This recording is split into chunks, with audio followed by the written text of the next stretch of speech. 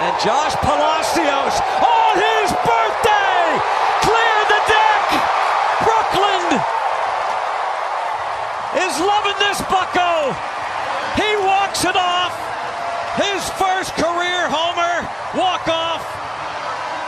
Josh Palacios gives the Pirates the win. Are you kidding me? Kidding me? Oh, man. Go Raise the Jolly Roger. Raise it high. Happy birthday.